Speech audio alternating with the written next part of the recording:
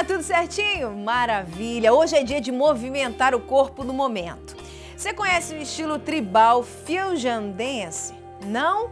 Então fica com a gente!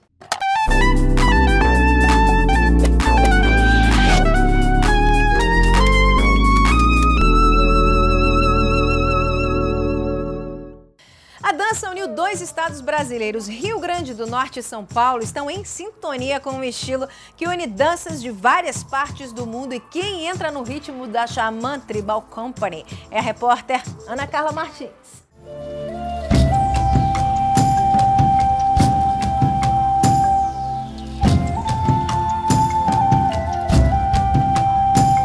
A dança étnica contemporânea é a fusão de várias culturas de vários países do mundo. Ela nasceu na década de 60 como uma bailarina americana. E aqui em Natal, a companhia Xamã Tribal pratica essa dança. E a gente vai conhecer um pouco mais no Momento Cultural de hoje.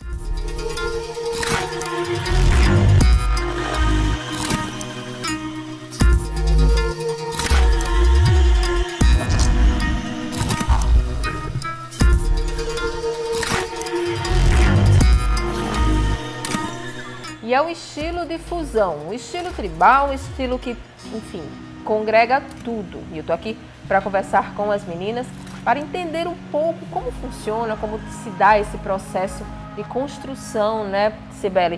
Você me falava há pouco tempo, vocês têm a possibilidade, vocês têm infinitas possibilidades de montar o, os espetáculos, enfim, os trabalhos de vocês, né? mas fala um pouquinho como é, como é que se dá todo esse processo de, de fusão aí para compor a dança.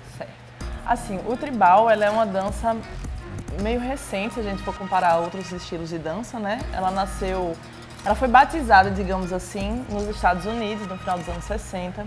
E aí é, ela começou como um estilo que é conhecido como American Tribal Style, estilo tribal americano.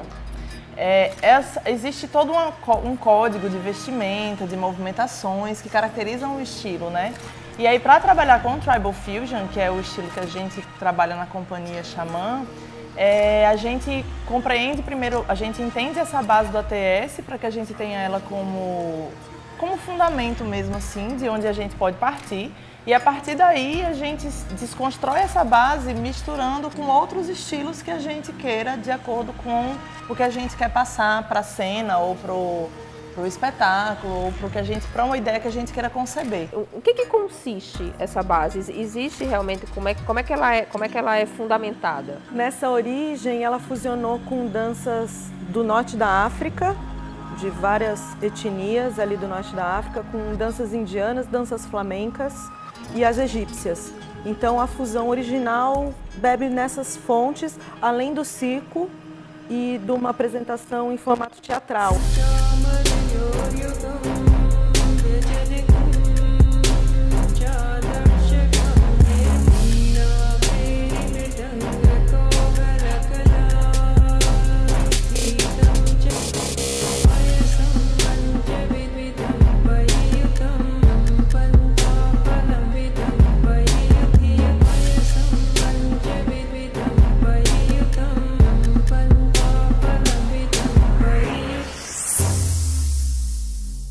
Cada apresentação é uma coisa que, que mexe com o corpo todo, né, Alana? É um trabalho muito fundamentado não só no, no estudo teórico, como prático também. Então requer muita prática, é, esse estudo do corpo como um todo, porque a musculatura trabalha a favor do corpo, então a gente realmente mexe do fio de cabelo até o pedacinho do dedinho do pé.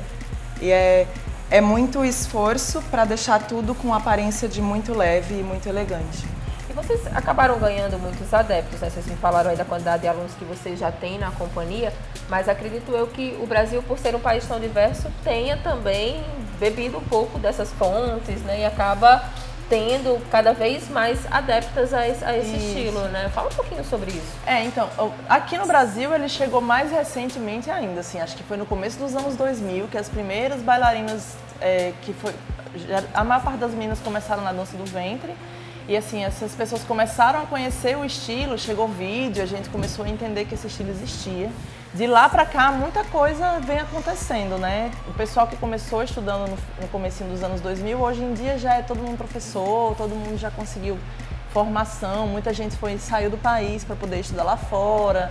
A gente conseguiu também trazer muita gente de fora para cá. Nós mesmos da Xamã, a gente organiza um, é, um evento que chama Xamãs Fest. Então, de tempos em tempos, a gente traz grandes nomes de fora do país para poder dar formação para o pessoal aqui.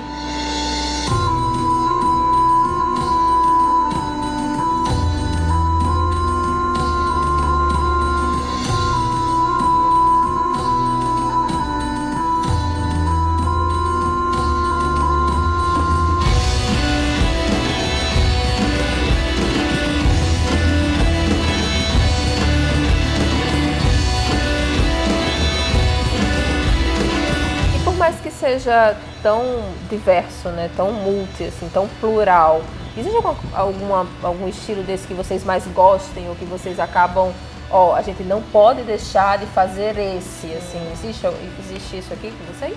Dependendo do personagem, dependendo do discurso que eu quero, vai caber mais uma coisa do que outra. Então vai ter personagem que vai pedir que eu beba um pouco mais na fonte da dança indiana, vai ter personagem que vai me pedir que eu fusione um pouco até com balé, digamos, né? Então, tipo, eu vou ter que beber nessa água dança do ventre, dança indiana, flamenco e colocar uma pitadinha de balé porque tem a ver com o personagem. Então acho que preferência mesmo a gente tem pela liberdade de poder fazer essa fusão do jeito que fique mais conciso, digamos assim. Se eu vou é, principalmente falar usando de ferramentas de uma cultura específica, é interessante que a gente entenda sobre aquela cultura para que também esse discurso ele seja bem embasado. Historicamente falando, dentro da raiz mesmo da, da dança de vocês, qual, qual aqui, aqui chamou mais atenção por ter uma história, por ter uma uma força, uma própria liberdade também, né? Porque você está falando de países aí que por muito tempo são países que passaram por períodos de opressão, Sim, então, né? Ainda passa. A, a dança, exatamente, ainda passa. Então a dança acaba a, é libertador de qualquer forma, né? Então, para mim vai ser curioso isso, mas a dança brasileira. É? Porque eu nunca olhei para a dança brasileira com tanta atenção como depois de estudar tribal, porque fez todo sentido que a gente fosse beber nas nossas próprias danças folclóricas, entendeu? E aí a gente descobriu que existem, nossa, centenas, assim, o Brasil é muito rico.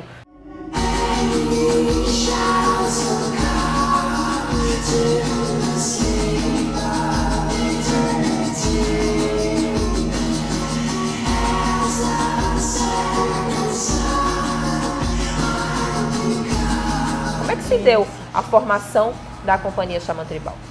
A Xamã, ela começou lá em 2006. Começou com a Paula, inclusive. Eu não fiz parte assim do primeiro, do primeiro momento mesmo de concepção foi entre a Paula e uma outra amiga nossa que hoje em dia não trabalha mais com dança, que chama Ellen Paz. E a gente trabalha, todo mundo dançava dança do ventre na época, conheceu o estilo do tribal através de vídeos e tudo mais. E as meninas tiveram esse lampejo de montar algo.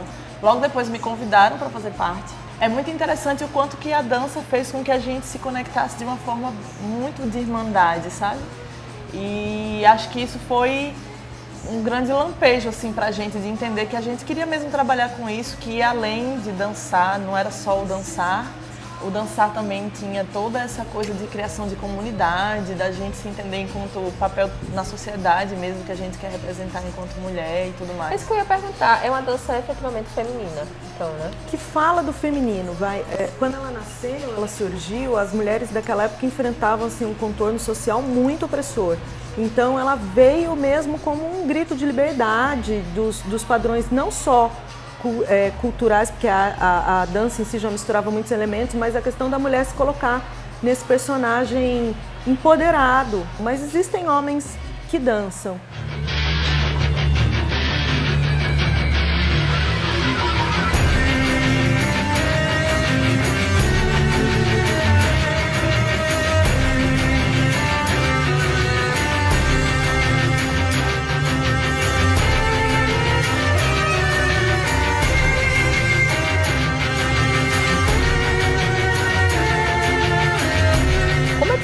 Montam uma apresentação hoje, assim? Como é que vocês, como é que vocês pensam uma apresentação? Eu sei que vocês já fizeram várias, já foram premiadas, inclusive, mas a premiação a gente vai falar um pouquinho depois.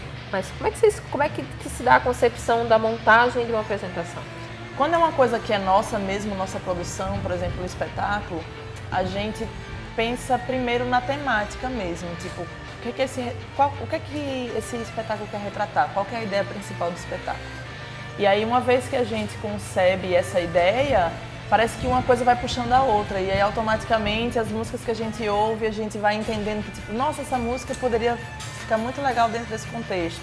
E, por último, a gente termina vendo figurino. Uma vez que a coisa já está meio concebida, a gente termina vendo figurino por último.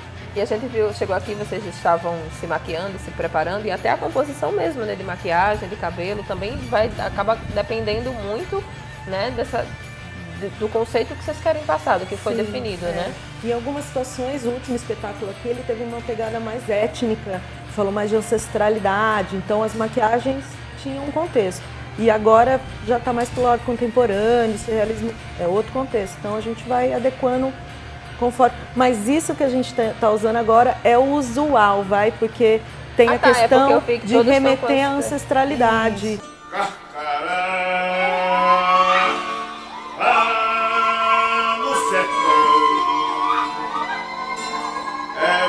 bicho que voa que nem avião. É um pássaro malvado, tem um bico voqueado que nem gavião.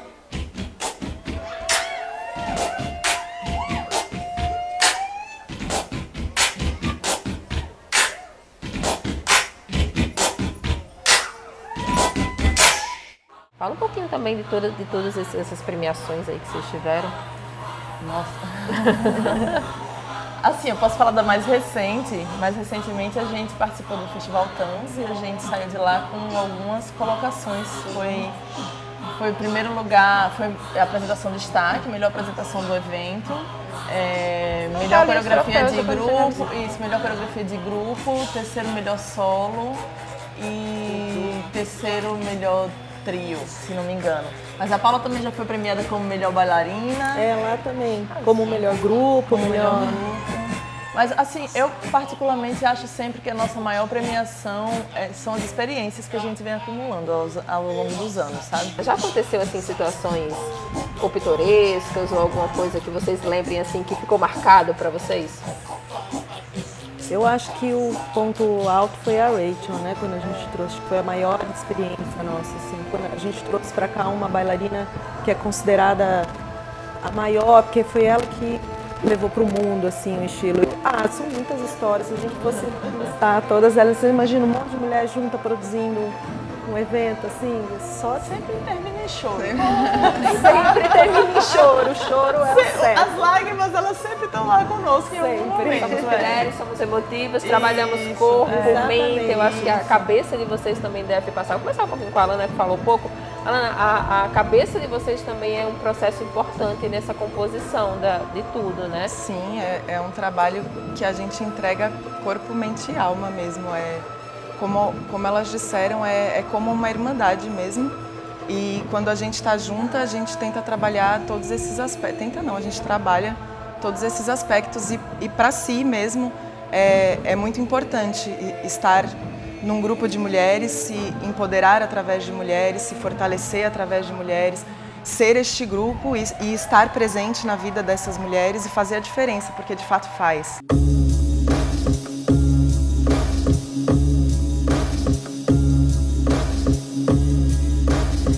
E vocês agora estão fase final de preparação, vão se apresentar no Teatro de Parnamirim, né? Fala um pouquinho dessa apresentação. Isso.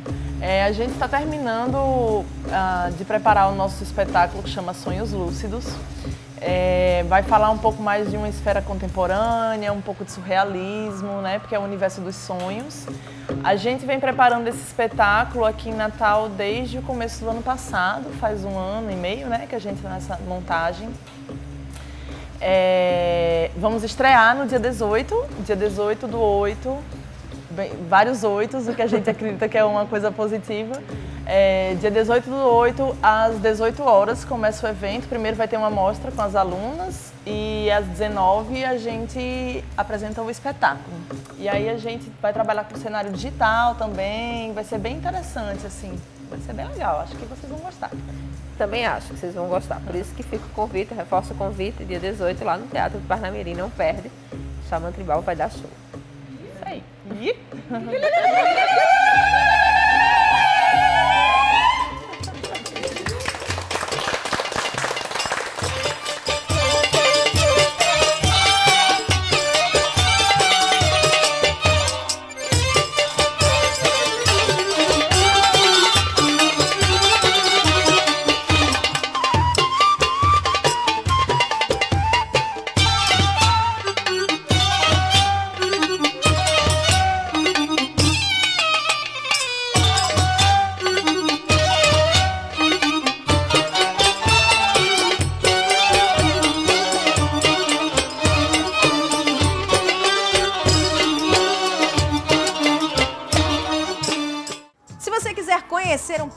mais sobre a Xamã Tribal, acesse as redes sociais da companhia que estão aparecendo aí.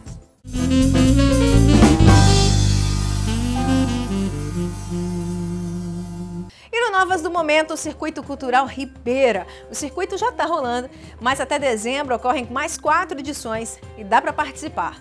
As inscrições são online. Artistas e produtores devem preencher uma ficha para se apresentarem como atrações culturais durante o evento. Lembrando que o Circuito Cultural Ribeira acontece em várias ruas do bairro e em sete equipamentos culturais que ficam abertos das quatro da tarde até as 10 da noite. A entrada é franca. Finalzinho do momento, mas ainda dá tempo de falar das nossas redes sociais. A gente está no Instagram, no Facebook e também lá no YouTube. Segue a gente, manda a tua sugestão. Beijo grande, fica com Deus. Tchau.